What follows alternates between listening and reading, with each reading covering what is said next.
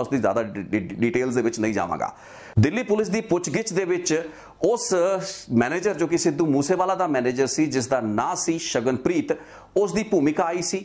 ਉਸਨੇ ਰੈਕੀ ਕਰਾਈ ਸੀ ਵਿੱਕੀ ਮਿੱਡੂ ਖੇੜਾ ਦੇ 7 ਅਗਸਤ 2021 ਨੂੰ ਹੋਏ ਹਮਲੇ ਤੋਂ ਪਹਿਲਾਂ। ਗੈਂਗਸਟਰਾਂ ਨੂੰ ਠਹਿਰ ਦਾ ਉਹਨਾਂ ਦਾ ਪ੍ਰਬੰਧ ਕੀਤਾ ਸੀ ਤੇ ਖੁਦ ਵੀ ਉਸ ਰੈਕੀ ਦੇ ਵਿੱਚ ਸ਼ਾਮਲ ਸੀ। ਉਸ ਵਾਰਦਾਤ ਤੋਂ ਬਾਅਦ ਸ਼ਗਨਪ੍ਰੀਤ ਦੁਬਈ ਚਲਾ ਜਾਂਦਾ ਤੇ ਦੁਬਈ ਤੋਂ ਉਹ ਵਾਪਸ ਭਾਰਤ ਵਿੱਚ ਪਰਤਦਾ ਹੈ।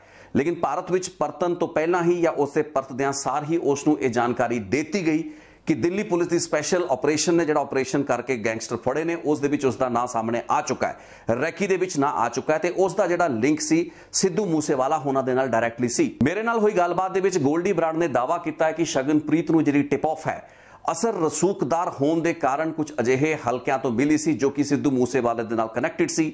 ਇਹੀ ਕਾਰਨ ਸੀ ਕਿ ਸ਼ਗਨਪ੍ਰੀਤ ਸਮੇਂ ਰਹਿੰਦਿਆਂ ਹੀ ਆਸਟ੍ਰੇਲੀਆ ਨਿਕਲਣ ਦੇ ਵਿੱਚ ਕਾਮਯਾਬ ਹੋ ਗਿਆ ਤੇ ਅੱਜ ਤੱਕ ਉਹ ਆਸਟ੍ਰੇਲੀਆ ਦੇ ਵਿੱਚ ਹੈ। ਇਹ ਇੱਕ ਬਹੁਤ ਵੱਡਾ ਫੈਕਟਰ ਸੀ। ਵਿੱਕੀ ਮਿੱਡੂ ਖੇੜਾ ਦੇ ਸ਼ੂਟਰਾਂ, ਉਸ ਦੀ ਹੱਤਿਆਕਾਂਡ ਦੇ ਵਿੱਚ ਵਰਤੇ ਗਏ ਜਿਹੜੇ ਗੁਰਗੇ ਸਨ, ਉਹਨਾਂ ਨੂੰ ਠਹਿਰ ਦਾ ਉਹਨਾਂ ਨੂੰ ਰੈਕੀ ਕਰਾਉਣ ਦਾ ਜਿਹੜਾ ਕੰਮਕਾਜ ਸੀ, ਇਸ ਦਾ ਖਦਸ਼ਾ ਸ਼ਗਨਪ੍ਰੀਤ ਉੱਤੇ ਸੀ ਤੇ ਸ਼ਗਨਪ੍ਰੀਤ ਸਿੱਧੂ ਮੂਸੇਵਾਲੇ ਦੇ ਨਾਲ ਅਟੈਚ ਸੀ ਕਨੈਕਟਡ ਸੀ। ਇਹੀ ਕਾਰਨ ਸੀ ਜਿਸ ਕਰਕੇ ਸਿੱਧੂ ਮੂਸੇਵਾਲਾ ਨੂੰ ਟਾਰਗੇਟ ਕੀਤਾ ਗਿਆ। ਲੇਕਿਨ ਜੇ ਆਪਾਂ ਸਿਰਫ ਇਹ ਸਮਝਦੇ ਹਾਂ ਜਾਂ ਕੁਝ ਲੋਕ ਇਹ ਮੰਨਣ ਦੀ ਕੋਸ਼ਿਸ਼ ਕਰ ਰਹੇ ਨੇ, ਜਿਵੇਂ ਕਿ ਸੋਸ਼ਲ ਮੀਡੀਆ ਦੇ ਉੱਤੇ ਲਾਰੈਂਸ ਬਿਸ਼ਨੋਈ ਗੈਂਗ ਵੱਲੋਂ ਜਿਹੜੀ ਇੱਕ ਪੋਸਟ ਪਾਈ ਗਈ ਹੈ, ਜਿਸ ਵਿੱਚ ਉਹਨਾਂ ਨੇ ਇਹ ਜ਼ਿੰਮੇਵਾਰੀ ਕਬੂਲੀ ਹੈ।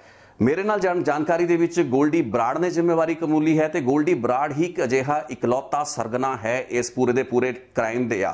ਗੈਂਗਸਟਰਾਂ ਦੇ ਨੈਟਵਰਕਸ ਦਾ ਜੋ ਕਿ ਇਸ ਵਕਤ ਕੈਨੇਡਾ ਦੇ ਵਿੱਚ ਆਜ਼ਾਦ ਹੈ ਤੇ ਇਹਨਾਂ ਸਾਰੇ ਦੇ ਸਾਰੇ ਜਿਹੜੇ ਮੋਡਿਊਲਸ ਨੇ ਗੈਂਗਸਟਰਾਂ ਦੇ, ਉਹਨਾਂ ਨੂੰ ਆਪਰੇਟ ਕਰ ਰਿਹਾ, ਚਲਾ ਰਿਹਾ ਸੋ ਉਸ ਵੱਲੋਂ ਜਿਹੜੀ ਵੀ ਜਾਣਕਾਰੀ ਮੇਰੇ ਨਾਲ ਸਾਂਝੀ ਕੀਤੀ ਗਈ ਹੈ, ਮੈਂ ਤੁਹਾਡੇ ਨਾਲ ਸਾਂਝੀ ਕਰ ਰਿਹਾ ਇਸ ਆਧਾਰ ਉੱਤੇ ਕਿ ਇਹ ਜਾਣਕਾਰੀ ਉਸ ਦੇ ਵੱਲੋਂ ਆਈ ਹੈ। ਹਾਲਾਂਕਿ ਜਿੰਨੀ ਵੀ ਜਾਣਕਾਰੀ, ਜੋ ਵੀ ਮੈਂ ਤੁਹਾਨੂੰ ਦੱਸਾਂਗਾ, ਉਹ ਸਾਰੀ ਚੀਜ਼ਾਂ, ਗੱਲਾਂ ਬਾਤਾਂ ਪੁਲਿਸ ਦੀ ਆਪਣੀ ਤਫਤੀਸ਼ ਦਾ ਹਿੱਸਾ ਨੇ ਤੇ ਪੁਲਿਸ ਇਸ ਦੀ ਜ਼ਿਆਦਾ ਬਿਹਤਰ ਪੜਤਾਲ ਕਰ ਸਕਦੀ ਹੈ। ਇਸ ਚੀਜ਼ ਨੂੰ ਅੱਗੇ ਕੋਰੋਬੋਰੇਟ ਕਰਨਾ ਪਏਗਾ ਤੇ ਵੈਰੀਫਾਈ ਕਰਨਾ ਪਏਗਾ। ਲੇਕਿਨ ਜੇ ਆਪਾਂ ਸਾਰੇ ਮੰਨਦੇ ਹਾਂ ਕਿ ਸਿਰਫ ਵਿੱਕੀ ਮਿੱਡੂ ਖੇੜਾ ਦੀ ਮੌਤ ਜਾਂ ਉਸ ਦੀ ਹੱਤਿਆ ਤੋਂ ਬਾਅਦ ਇਹ ਰਿਐਕਸ਼ਨ ਹੋਇਆ, ਅਜਿਹਾ ਨਹੀਂ ਹੈ। ਇਸ ਤੋਂ ਪਹਿਲਾਂ ਇੱਕ ਬਹੁਤ ਲੰਬੀ ਚੌੜੀ ਗੈਂਗ ਵਾਰ ਚੱਲਦੀ ਆ ਰਹੀ ਹੈ, ਜਿਸ ਵਿੱਚ ਕਿ ਇੱਕ ਪਾਸੇ ਦਵਿੰਦਰ ਬੰਬੀਹਾ ਦਾ ਗੈਂਗ ਹੈ, ਸੁਖਪ੍ਰੀਤ ਬੁੱਢਾ ਵਰਗੇ ਗੈਂਗਸਟਰਸ ਦੇ ਨਾਲ ਹੈਗੇ ਨੇ।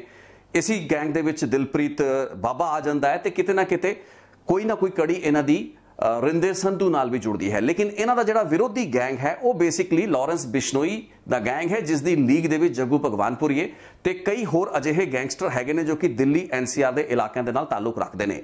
ਹੁਣ ਇਹਨਾਂ ਗੈਂਗਸ ਦੇ ਵਿੱਚ ਆਪਸ ਦੀ ਗੈਂਗ ਵਾਰ ਚੱਲਦੀ ਪਈ ਹੈ ਤੇ ਅੱਜ ਤੋਂ ਠੀਕ ਸ਼ਾਇਦ 2 ਸਵਾ 2 ਜਾਂ 2.5 ਮਹੀਨੇ ਪਹਿਲਾਂ ਮੈਂ ਇੱਕ ਰਿਪੋਰਟ ਨਸ਼ਰ ਕੀਤੀ ਸੀ ਕਿ ਇਸ ਗੈਂਗ ਵਾਰ ਦੇ ਵਿੱਚ ਜ਼ਿਆਦਾਤਰ ਸੌਫਟ ਟਾਰਗੇਟ ਹੀ ਨਿਸ਼ਾਨੇ ਉੱਤੇ ਆ ਰਹੇ ਨੇ। ਜੇ ਸਿੱਧੂ ਮੂਸੇਵਾਲਾ ਦੀ ਅੱਜ ਦੀ ਸੱਤਿਆ ਦੀ ਗੱਲ ਕਰ ਰਹੀਏ ਤਾਂ ਸਭ ਤੋਂ ਮਜ਼ਬੂਤ ਤੇ ਵੈਲ ਪ੍ਰੋਟੈਕਟਡ ਜਿਹੜਾ ਟਾਰਗੇਟ ਸੀ, ਅੱਜ ਇਹਨਾਂ ਦੇ ਵਿੱਚੋਂ ਇੱਕ ਗੈਂਗ ਦੇ ਨਿਸ਼ਾਨੇ ਉੱਤੇ ਆਇਆ। ਸੋ 골ਡੀ ਬਰਾਡ ਨੇ ਇਸ ਚੀਜ਼ ਨੂੰ ਕਬੂਲਿਆ ਹੈ ਕਿ ਸਿੱਧੂ ਮੂਸੇਵਾਲਾ ਨੂੰ ਅਲੱਗ-ਅਲੱਗ ਬੋਰ ਦੇ ਹਥਿਆਰਾਂ ਨਾਲ ਉਹਨਾਂ ਨੇ ਮਰਵਾਇਆ। ਹਾਲਾਂਕਿ ਇਸ ਚੀਜ਼ ਦੀ ਮੈਂ ਤਸਦੀਕ ਨਹੀਂ ਕਰ ਸਕਦਾ, ਲੇਕਿਨ ਗੋਲਡੀ ਬਰਾਡ ਨੇ ਜਾਣਕਾਰੀ ਦਿੱਤੀ ਕਿ ਸਿੱਧੂ ਮੂਸੇਵਾਲਾ ਦੀ ਮੌਤ ਦੇ ਵਿੱਚ ਜਿਹੜੀਆਂ, ਜਿਹੜੇ ਵੈਪਨਸ ਵਰਤੇ ਗਏ, ਉਹਨਾਂ ਦੇ ਵਿੱਚ ਇੱਕ AK47 ਇੱਕ .45 ਬੋਰ ਦਾ ਇੱਕ ਵੈਪਨ ਸੀ ਤੇ ਕੁਝ ਸ਼ਾਇਦ ਹੋਰ ਵੀ ਵੈਪਨ ਸੀ।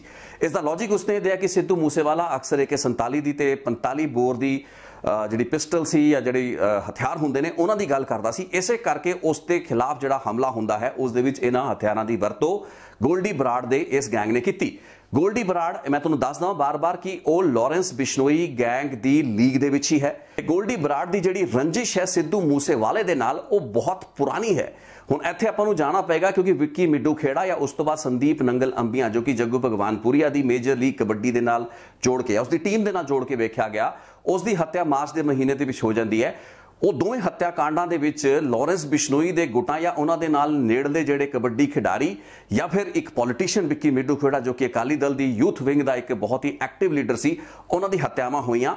ਤੇ ਲਾਰੈਂਸ ਦਾ ਜਿਹੜਾ ਗੈਂਗ ਸੀ ਜਾਂ ਜੱਗੂ ਭਗਵਾਨਪੁਰੀਆ ਹੋਣਾ ਦਾ ਜਿਹੜਾ ਗੈਂਗ ਸੀ, ਇਹ ਕਾਫੀ ਸਮੇਂ ਤੋਂ ਕੋਈ ਵੱਡਾ ਜਿਹੜਾ ਹਮਲਾ ਹੈ ਆਪਣੇ ਵਿਰੋਧੀ ਗੈਂਗ ਉੱਤੇ ਕਰਨਾ ਚਾਹ ਰਿਹਾ ਸੀ।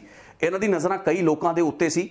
ਲਾਰੈਂਸ ਅਤੇ ਜੱਗੂ ਭਗਵਾਨਪੁਰੀਏ ਦੀ ਲੀਗ ਦੇ ਨਾਲ ਹੀ ਜੁੜਦੇ ਹੋਏ ਕੁਝ ਅਜਿਹੇ ਸਿੰਗਰ ਵੀ ਸਨ, ਜਿਨ੍ਹਾਂ ਵਿੱਚ ਲਾਰੈਂਸ ਦੇ ਪੁਰਾਣੇ ਕਾਲਜ ਦੇ ਸਾਥੀ ਰਹੇ ਮਨਕੀਰਤ ਔਲਖ ਦਾ ਨਾਂ ਆਂਦਾ ਸੀ, ਕਰਨ ਔਜਲਾ, ਜਿਨ੍ਹਾਂ ਦੇ ਉੱਤੇ ਬਾਹਰ ਗੋਲੀਆਂ ਵੀ ਚਲਾਈਆਂ ਗਈਆਂ ਸਨ। ਇਹ ਲੋਕਾਂ ਨੂੰ ਲਗਾਤਾਰ ਖਤਰਾ ਸੀ ਤੇ ਇਹ ਮੰਨਿਆ ਜਾ ਰਿਹਾ ਕਿ ਸਿੱਧੂ ਮੂਸੇਵਾਲਾ ਦੀ ਜਿਹੜੀ ਸਾਂਝ ਸੀ ਜਾਂ ਉਸ ਦੀ ਜਿਹੜੀ ਨੇੜਤਾ ਸੀ, ਉਹ ਬੰਬੀਹਾ ਗਰੁੱਪ ਦੇ ਨਾਲ ਸੀ। ਗੋਲਡੀ ਬਰਾੜ ਨੇ ਟੈਲੀਫੋਨ ਦੇ ਉੱਤੇ ਮੈਨੂੰ ਇਹ ਕਿਹਾ ਕਿ ਕਈ ਜਿਹੜੇ ਗੀਤ ਸਿੱਧੂ ਮੂਸੇਵਾਲਾ ਵੱਲੋਂ ਗਾਏ ਗਏ ਉਹ ਇਸੇ ਆਧਾਰ ਦੇ ਉੱਤੇ ਲਿਖੇ ਗਏ ਤੇ ਉਹਨਾਂ ਨੂੰ ਗਾਇਆ ਗਿਆ।